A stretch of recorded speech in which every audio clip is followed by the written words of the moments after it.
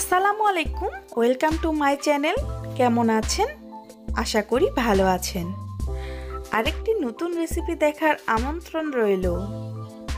একটা নতুন স্বাদে ভিন্ন ধরনের মিষ্টি কুমড়ো রেসিপি নিয়ে এসেছি। আশা করছি আপনাদের কাছে ভালো লাগবে। আর দেখতেই পাচ্ছেন কালারটা কতটা সুন্দর এসেছে। এরকম যদি নতুন নতুন আইটেম হয় বা নতুন নতুন একটু রেসিপি হয়, কার না ভালো লাগে? একটু ডিফারেন্স ডিফারেন্স টেস্ট তাই না? দেখতে যতটা লোভনীয় হয়েছে খেতে, তার থেকে বেশি লোভনীয় হয়েছে। তো আমি বলব আপনারা বাসায় অবশ্যই একবার হলেও এই রেসিপিটা ট্রাই করবে তো চলুন মূল উপকরণে চলে যাই। প্রথমে একটা চুলায় প্যান বসিয়ে দিয়েছি আর এখানে আমি হাফ কাপ পরিমাণ তেল দিয়ে দিব। তেলটা একটু গরম হয়ে আসতে এখানে আমি হাফ কাপ পেঁয়াজ বাটা দিয়ে দিব। পেঁয়াজ বাটাটা দেওয়ার পরে আমি এখানে দুই টেবিল স্পুন রসুন কুচি দিয়ে দিব। এখন আমি এখানে অ্যাড করে দেব এক টেবিল স্পুন কালিজিরা এই তিনটা উপকরণ ভালো করে দিয়ে আমি একটু নেড়ে নেব, যাতে একটু ভালো করে ফ্রাই হয়। এই তো দেখতে পাচ্ছেন আমি এটাকে একটু ভালোভাবে নেড়ে নিচ্ছি। আর দেখেন কালারটাও আস্তে আস্তে চেঞ্জ হয়ে আসছে।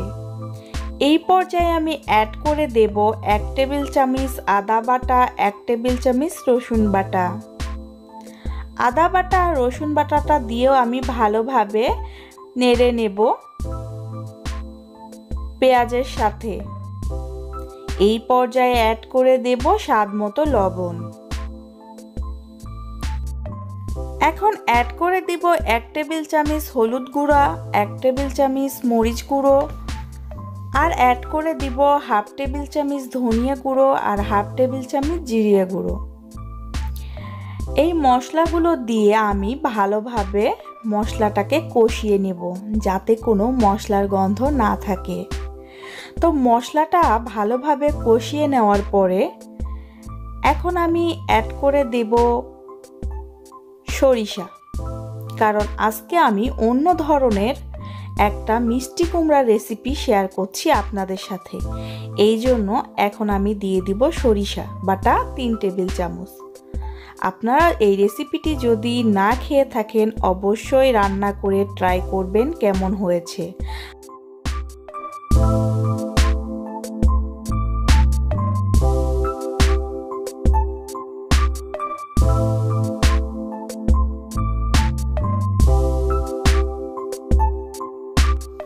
মশলাটাকে ভালোভাবে কষিয়ে নিয়ে এই পর্যায়ে অ্যাড করে দিব চিংড়ি মাছ। আর চিংড়ি মাছটাকেও আমি ভালোভাবে মশলার সাথে মিক্সড করে নেব। এখন মিক্সড করে এখন আমি সামান্য পরিমাণের পানি দিয়ে এটাকে ঢেকে দিব দুই মিনিটের জন্য।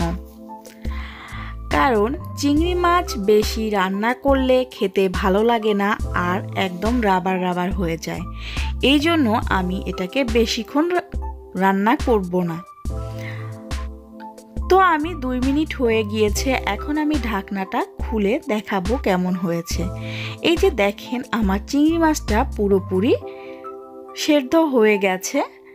এখন আমি চিংড়ি মাছটা উঠিয়ে নিব। উঠিয়ে নিয়ে এই পর্যায়ে আমি, এই যে দেখতে পাচ্ছেন আমি মিষ্টি কুমড়োগুলো কীভাবে কেটে নিয়েছি। এই তো এইভাবে আমি কেটে নিয়েছি এরকম সাইজ করে। তবে আপনারা যে যেভাবে সাইজ করতে পারেন, কোনো সমস্যা নেই। তবে এভাবে কাটলেই এই মিষ্টি কুমড়োটা গলে যাবে না। কারণ একটু মোটা মোটা করে কেটে নিতে হবে। মিষ্টি কুমড়োটা ভালোভাবে মশলার সাথে কষিয়ে এর মধ্যে আমি পরিমাণ মতো পানি অ্যাড করে দিলাম। পানি অ্যাড করে দিয়ে এই পর্যায়ে আমি ঢাকনাটা দিয়ে দিব। এই যে ঢাকনাটা দিয়ে দিলাম দেখেন, এখন তিন মিনিট পরে আমি চলে এসেছি। কেমন হয়েছে? এই পর্যায়ে আমি অ্যাড করে দিব চিংড়ি মাছগুলো, যেগুলো আমি আগের থেকেই রান্না করে উঠিয়ে রেখেছিলাম। এখন আমি এর ভেতরে অ্যাড করব তিনটা কাঁচামরিচ আর অ্যাড করে দেব এক টেবিল চামিচ চিনি। আর অ্যাড করে দিব এক টেবিল চামচ ঘি। আসলে এই রেসিপিটা অনেক লোভনীয় হয় গরম ভাত আর এই মিষ্টি কুমড়োর রেসিপিটা যদি হয়, আর কিছুই লাগবে না। আশা করছি আপনারা একবার হলেও বাসায় ট্রাই করবেন। এই তো, এই পর্যায়ে এসে আমি অ্যাড করে দিব ধনিয়া পাতা। আর ধনিয়া পাতা না দিলে তো একদম ভালো লাগবে না, এটা স্কিপ করলে ভালো লাগবে না। আশা করি আপনারা ধনিয়া পাতাটা অ্যাড করবেন। আর যারা খেতে পারেন না, তারা হয়তো স্কিপ করতে পারেন। এখন আমি সার্ভ করে দেখিয়ে দিব। তো আজকের ভিডিওটি যদি আপনাদের কাছে ভালো লাগে, তাহলে লাইক দিবেন কমেন্ট করবেন, আর সাবস্ক্রাইব করে পাশে থাকা বেল আইকনটি ক্লিক করে দেবেন। যাতে পরবর্তী ভিডিওর নোটিফিকেশানগুলো আপনাদের কাছে চলে যায়। এরকম সুন্দর সুন্দর রেসিপি পেতে আপনারা অবশ্যই আমার চ্যানেলটা সাবস্ক্রাইব করে পাশেই থাকবেন। এইতে দেখতে পাচ্ছেন, মিষ্টি কুমড়োগুলো কিন্তু ভেঙে যায়নি, ঠিক আস্তে আস্তে আছে। আর দেখতে যতটা লোভনীয় হয়েছে, খেতে তার থেকে বেশি অসাধারণ হয়েছে। আমি একটু সার্ভ করে আপনাদেরকে দেখিয়ে দিচ্ছি।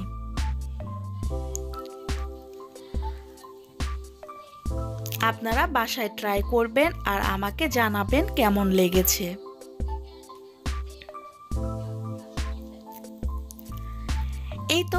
দেখতেই পাচ্ছেন কতটা ইয়াম্মি হয়েছে। তো ভালো থাকবেন, অন্য কোনো দিন, অন্য কোনো রেসিপিতে আবার আপনাদের সাথে কথা হবে। আল্লাহ হাফেজ, আসসালামু আলাইকুম।